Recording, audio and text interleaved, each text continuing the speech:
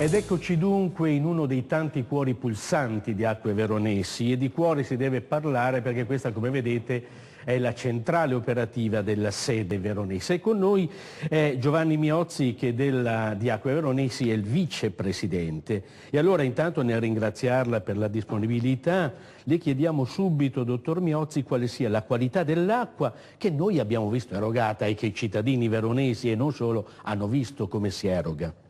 Beh, l'acqua nostra è un'acqua estremamente buona, lo dico io ma lo dicono anche le prove che sono state fatte a livello chimico, sono dei dati estremamente positivi.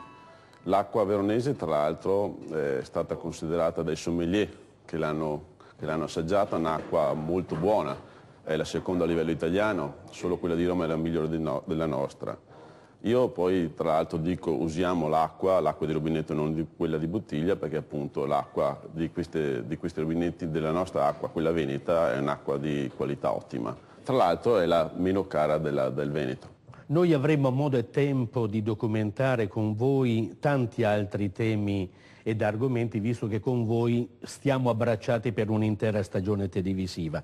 Ma diamo comunque, Vicepresidente, già qualche numero rispetto alla vostra attività. Beh, Acque Veronesi è una società che gestisce 69 comuni della provincia di Verona, eroghiamo qualcosa come 68 milioni di metri cubi d'acqua all'anno e gestiamo qualcosa come 4.200 km di condutture. Questi sono numeri significativi che fanno capire l'importanza della nostra società e le dimensioni della nostra società che, sono, che è tra l'altro la più grande del, del nord-est.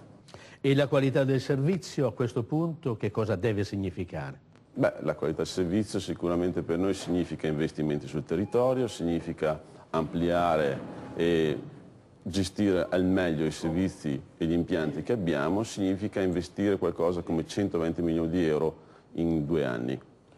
Per concludere questo primo step, ma ripeto, con Acque Veronesi il nostro rapporto informativo continuerà per tutta la stagione, si può dire, Vicepresidente, che la vostra società consortile, al di là del servizio all'utenza, tuteli le caratteristiche dell'acqua?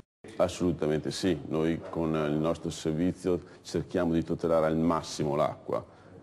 Come? facendo analisi continue sul territorio e dunque dando una garanzia che la nostra acqua sia un'acqua sicura, si possa usare e anzi invitiamo assolutamente le persone, bevete l'acqua del rubinetto che è un'acqua sana, buona e a poco costo.